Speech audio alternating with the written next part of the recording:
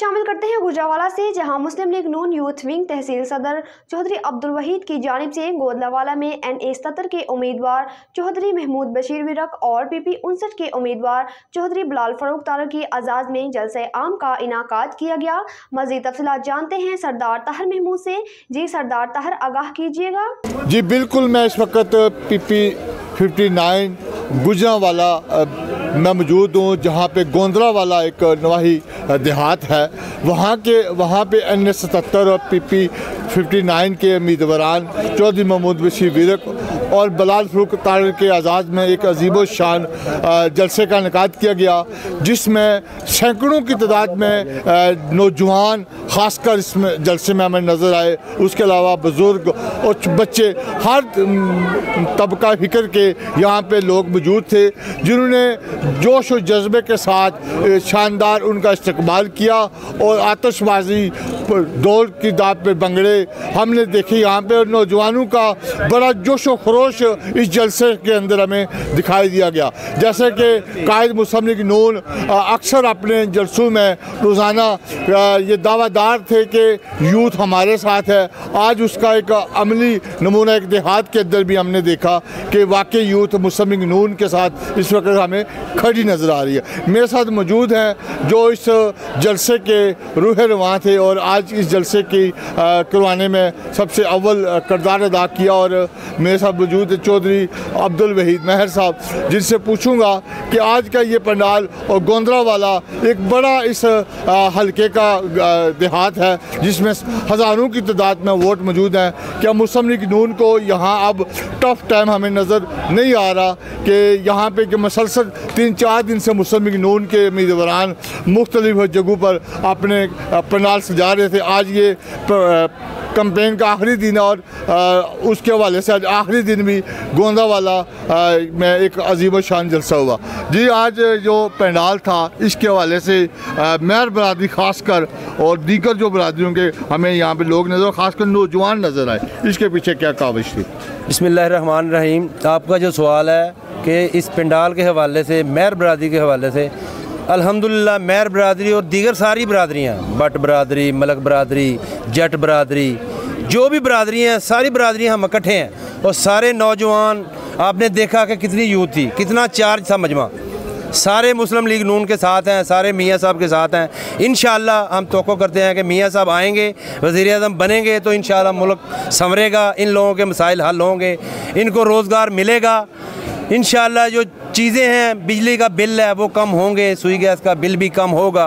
खाने पीने की चीज़ें भी कम होंगी और इनको इन खाने को सहूलत मिलेगी इन ताला। आप बेसिकली कारोबारी हल्के से आपका तल्लक है। जी बिल्कुल। और मुस्लिम लीग नून ने जो अपना मंशूर सताईस जनवरी को पेश किया, उसके अंदर मैशत के ऊपर ख़ास कर उन्होंने फोकस किया, इसके अलावा मुल्क के जो मसाइल हैं दीगर, उसके ऊपर काम कर रहे हैं। आप समझ रहे हैं कि मुस्लिम नून जितने मसाइल हैं और उसको नवाज़ शरीफ और दीगर जो मामला हैं, इनसे निकाल सकेंगे आराम से।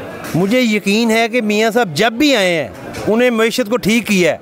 आपने देखा कि जब मियाँ साहब को 2018 में मिली हुकूमत तो तेरह तेरह में जब हुकूमत मिली बिजली का क्या हाल था? लोड शेडिंग कितनी थी? अठारह अठारह घंटे हम काम नहीं कर सकते थे। इंडस्ट्री हमारी बंद थी। मियाँ साहब आए उन्होंने लोड शेडिंग ख़त्म की। इंडस्ट्री चली। मीशत ठीक हुई। ग्रोथ छः फ़ीसद थी। क्या हाल किया इसने आके मुल्क का? मुल्क को बर्बाद कर दिया। इन मुझे यकीन है कि मियाँ साहब जब आएँगे तो ज़रूर मीशत ठीक होगी। इन हालात भी मुल्क के ठीक होंगे। अच्छा। इन ताला ज़रूर ठीक होंगे। गोंदला वाला जो आपका देहात है एक बहुत बड़ा यहाँ पे टीचिंग हॉस्पिटल बना, साथ उसके सिविल हॉस्पिटल भी शिफ्ट हुआ। रोज़गार के नए मौके मिले लोगों को कारोबार करने के। सड़क भी आपकी बेहतरीन बनना शुरू हो गई हैं। और ये तमाम चीज़ें, एक तरक्की का, जैसे महमूद बशी विरक साहब ने और अता बिलाल फुल्कार साहब ने अपनी स्पीच में कहा कि ये नवाज़ शरीफ के दौर के अंदर, तेरह के अंदर ये मनसूबे शुरू हुए, जो अब आके कंप्लीट हुए और इसको आज समझ रहे हैं कि इसी तरह आगे भी जो उन्होंने वादे किए पूरे होंगे। इन ताला मियाँ साहब ने जो भी वादा किया है वो पूरा किया है। मियाँ साहब ने कभी गलत बयानी नहीं की कि मैं एक करोड़ नौकरियाँ दूँगा मैं पचास लाख घर दूँगा। इसने क्या कहा था? इसने कुछ भी नहीं दिया मुल्क को बर्बाद किया मियाँ साहब जो वादा करते हैं इंशाल्लाह पूरा करते हैं। मुझे यकीन है कि मियाँ साहब जो भी वादा करेंगे अपने मंशूर में वो ज़रूर पूरा होगा इन आप पार्टी के दौरान भी हैं और इस वक्त मुस्लिम नून क्या आप समझते हैं कि पूरे जो बीस सीटें हैं एक बार फिर गुजरा वाला शहर से खासकर वाला से आप समझते हैं कि हज़ारों की लीड मैं आपको बताऊँ मैं आपको बताऊँ कि गोंदला वाला से कभी मुस्लिम लीग हारी नहीं। इंशाल्लाह इस दफ़ा इस दफ़ा इंशाल्लाह इस दफ़ा और ज़्यादा लीड से जीतेंगे।